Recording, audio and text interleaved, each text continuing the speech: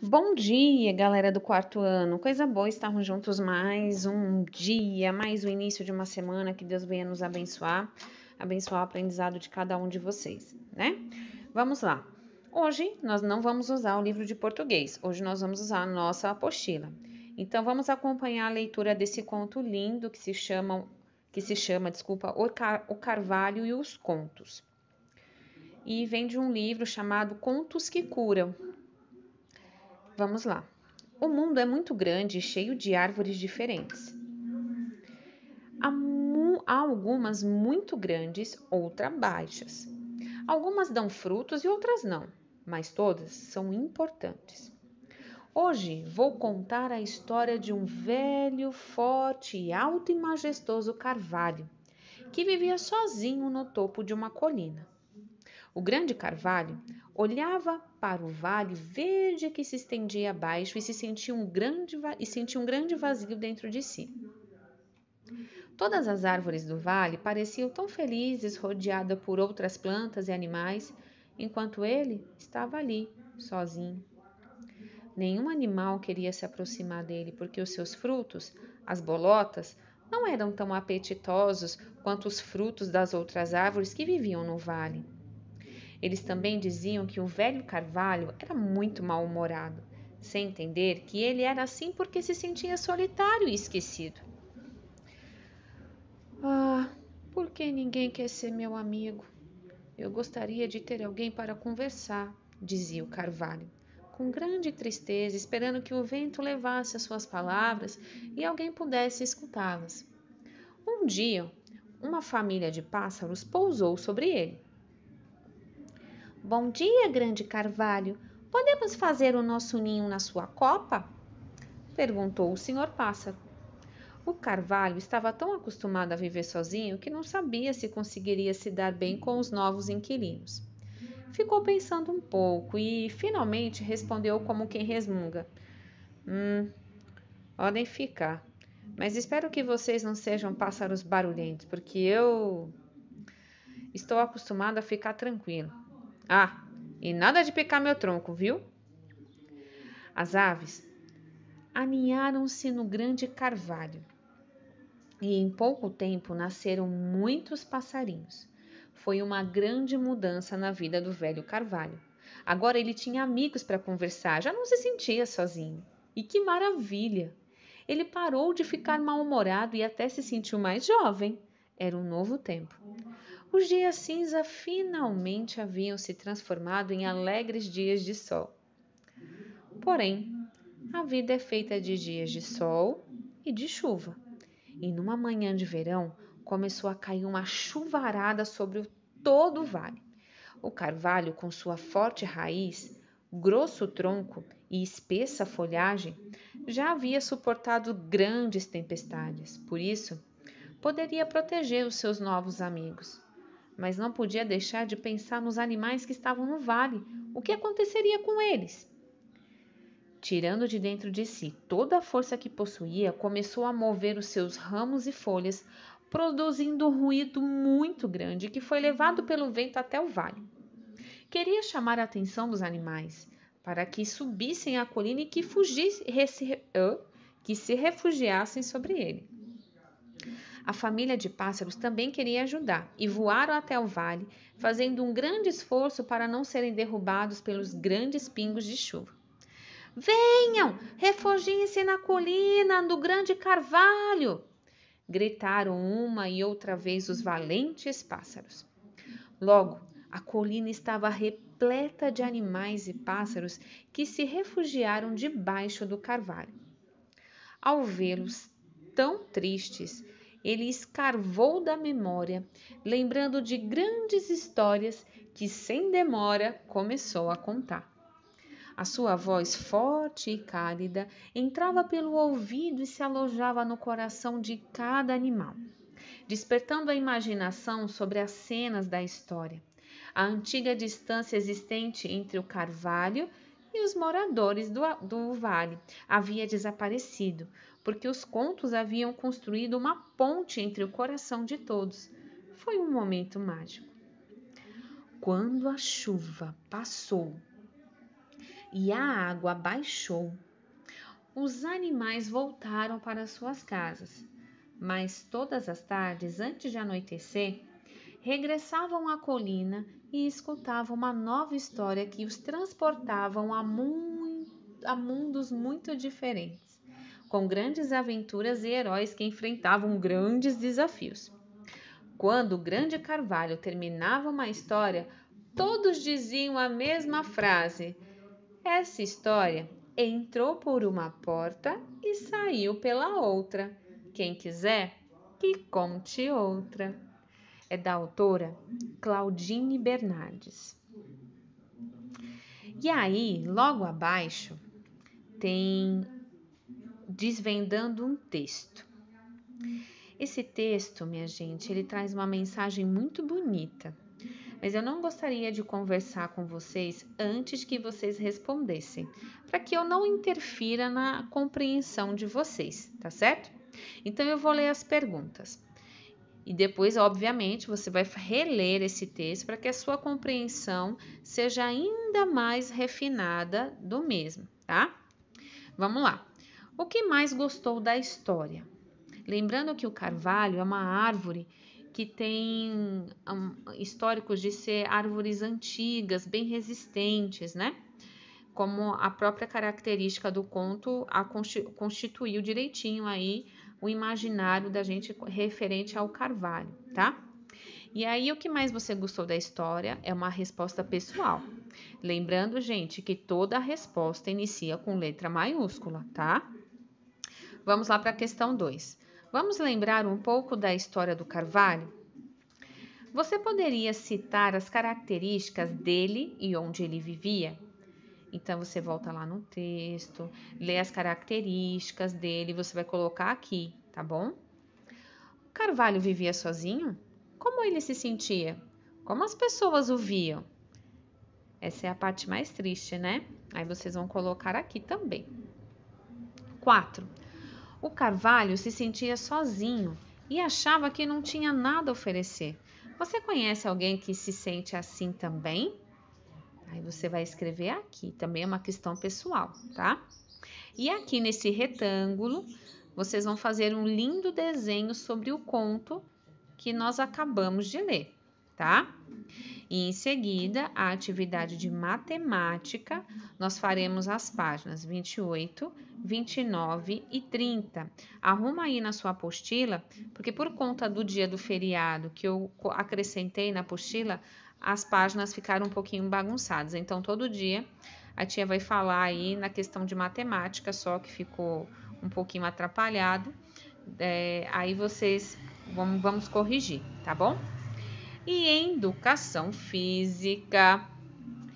Nós, vocês sabem que já já vai começar as Olimpíadas, né? As Olimpíadas, elas iniciaram lá na Grécia Antiga, com os gregos antigos, né? E a gente sabe que vários esportes aí competem. E hoje nós vamos estudar um que também faz parte, né, da, dos esportes que é, participam aí das Olimpíadas, que é o tênis de mesa, tá? É a última tarefinha da, apostila, da, da, da, da apostila de vocês de hoje, né? Porque hoje nós vamos usar a apostila e o livro de matemática, ok? Coloca aí na, na, na figurinha onde tem o tênis de mesa.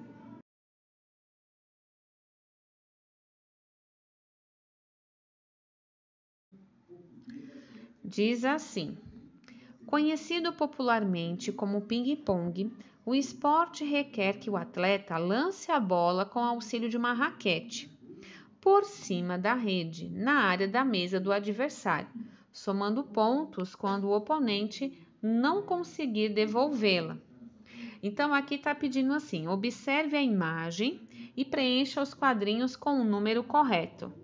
Número de raquetes, quantas raquetes os meninos estão usando aí? Quais são os números de jogadores? Número de bolas e o número de mesas. Muito fácil, né? Esse aí é o mais fácil de todos. Belezinha? Então, a tia explicou aqui a atividade de português e educação física. Vamos agora para matemática. Vamos lá. Adição e subtração. Carlos sempre participa de campanhas para ajudar pessoas. Na última campanha que participou, ficou responsável por organizar a arrecadação e distribuição de água. Aí ele, vamos entregar 835 litros de águas para os moradores da rua Alfa. E aqui, né, tem alguns dados sobre cada. É, eles separaram aqui garrafas de 1 litro, de 5 litros e 20 litros, tá? E aí, presta atenção. Quantos litros de água foram arrecadados? Então, aqui tem um total de 1 litro, de 5 litros e 20 litros. Então, vocês têm que somar esses três números aqui para saber quantos litros foram arrecadados. Isso vocês respondem no caderno de matemática, tá? Depois de entregar a doação para os moradores da Rua Alfa, quantos litros de água restarão? Então, vocês vão somar esses três aqui, esses três números, para saber quanto deu ao total. E depois, olha lá, para entregar na Rua Alfa, ele tem que entregar 835 litros. Aí vocês vão diminuir do resultado que der dessa soma, 835, para saber aí quanto vai sobrar, tá? A segunda doação de água foi feita para os moradores da Rua Ômega. Depois disso, sobraram 7.050 litros de água. Quantos litros de água os moradores da Rua Ômega receberam? Então, aqui, depois que você somar os três números, diminuir por 835, né? Vocês vão diminuir novamente com 7.050 para saber qual foi aí a quantidade de litros que a Rua Ômega recebeu, certo? Que situações fazem que seja necessário a distribuição de água, alimento e roupas para as outras pessoas? Você já participou de uma ação como essa? Converse com colegas e professor. Então, às vezes acontece de ter enchentes, né? Esse lance da pandemia mexeu muito, né, com o financeiro, com o trabalho das pessoas. Então, há momentos realmente que as pessoas precisam de doação, né? Então, são momentos desse aí que a gente precisa olhar para o outro. Que, como eu já disse a vocês, ninguém vive sozinho, todo mundo precisa se ajudar, né? Essas questõezinhas vocês respondam lá no caderno de, de matemática, tá? Coloca o cabeçalho direitinho para fazer. Agora a tia vai explicar a página 29. Vamos lá. Adição. Em cada estação da linha azul do metrô de São Paulo, embarcam diariamente milhares de pessoas. Se um trem saiu da estação Jabaquara com 1.234 passageiros e na estação seguinte, que é a estação Conceição, entraram mais 811 passageiros e não desceu ninguém, com quantas pessoas o trem chegou à próxima estação São Judas? Então, o que, que o livro vai nos mostrar aqui? Está nos mostrando uma situação lá do estado de São Paulo, que tem o metrô, né? E o metrô é a linha azul, que então são várias linhas, cada uma com uma cor, né? E na estação de Abaquara subiram ali 1.234 passageiros. Na estação seguinte, que é a estação Conceição, subiu mais 811. Não desceu ninguém então, quantos passageiros chegaram até a estação São Judas? Aí o livro vai nos responder essa. Para responder essa pergunta, podemos calcular o resultado de 1234 mais 811, né? E aqui o livro, primeiro, ele vai decompor o número, olha lá, 1000 mais 200 mais 30 mais 4, vai dar o número 1234. E 811, né? 800 mais 10 mais 1 vai dar 811. E aqui vamos somando. Vamos somar quanto que vai dar 1.234 mais 811, né? Vai dar 2.045, certo? E aí, também podemos calcular o resultado, 1.234 mais 811, com o algarismo usual, ou seja, sem decompor o número, né? Então, observe, 1.234 mais 811. Então, a gente sempre começa a continha na casinha da unidade. 4 mais 1, 5. Aí vamos para a casinha da dezena. 3 mais 1, 4, que aqui no caso é 40, né? Aí nós vamos lá para a casa da centena. 2 mais 8, 10. Mas eu não posso deixar o 10 aqui, então sobe a dezena, né? Sobe a centena, desculpa, e fica o zero. E vamos lá para a unidade de milhar, que é a última casinha que falta somar. 1 mais 1, que subiu aqui da casinha da centena, vai dar 2. Então, vai dar 2.045. Aí, aqui, no finalzinho da página, tem aí alguns quadradinhos para vocês preencherem. 4 unidades mais uma unidade é igual a quantas unidades? Fácil, tá até o, tem até a setinha mostrando aí qual é o número. 3 dezenas mais uma dezena é igual a tantas dezenas. Presta atenção na setinha. Duas centenas mais oito centenas é igual a dez centenas. Ops, eu dei a resposta desse. Ou quantas unidades de milhar? Uma unidade de milhar mais uma unidade de milhar é igual a quantas unidades de milhar? Então, o trem chegou à estação São Judas com tararã passageiros. Muito fácil, né? Agora vocês vão colocar na página 30, que é a página que nós faremos hoje, porque a página 28 e 29 são basicamente explicações, né? Vocês têm bem pouca coisa para preencher na 29. Então vamos aqui para 30.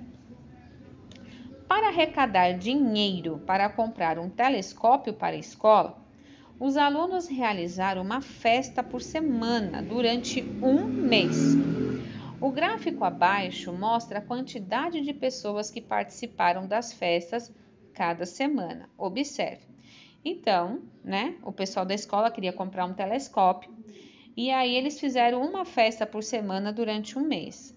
Então, vamos lá. Na primeira semana, 1.254 pessoas participaram. Na segunda semana, 1.307. Na terceira semana, 905. E na quarta semana, 1.123 pessoas. Quantas pessoas participaram das festas da escola? Então, vocês têm que somar todos esses números. Lembrando, é número embaixo de número, né? Para que não altere o valor da conta. E aqui embaixo vocês vão responder: participaram das festas da escola? Quantas pessoas? Tá? Aí, olha só. 3. Veja como a professora Mariana começou a calcular o resultado de 65.302 mais 23.730. Aí diz assim: ela colocou aqui, tá vendo? Olha, cada número na sua casinha. Então, ela começou lá da casinha da unidade. 2, 3, porque 2 mais 0 é 2, né? 0 mais 3 é 3. E agora, quanto que é 3 mais 7? E aí você vai dar 10, mas eu não posso deixar 10 aqui na casinha. Então, eu coloco o zero aqui, sobe uma, uma centena, aqui no caso, né? Tá na casa da centena. Aí fica 5 mais 1, mais 3 vai dar quanto? E aí, vocês vão terminar de fazer a soma para ajudar a professora Mariana, tá certo? E aqui ela está dizendo aqui, ó. Aqui juntamos as três centenas com as sete centenas e obtemos dez centenas, que equivalem a uma unidade de milhar. Ela só está lembrando vocês, mas quem vai terminar, quem vão, quem irá, né, terminar são vocês, tá bom? Então, hoje nós temos um texto e a interpretação do mesmo, tá? que é o texto, os textos da coleção Textos que Curam, né, do Carvalho. Nós temos uh, a, a questão de educação física, que é super facinho, depois vocês pintem um desenho para ficar bonitinho. E temos praticamente uma página de matemática. Então, hoje está muito, muito, muito, muito, muito suave, tá bom? Fiquem com Deus, até amanhã, se Deus quiser. Caprichem na lição e respondam as questões da página 28 do livro de matemática no caderno de matemática, tá bom? Cheiro, até amanhã!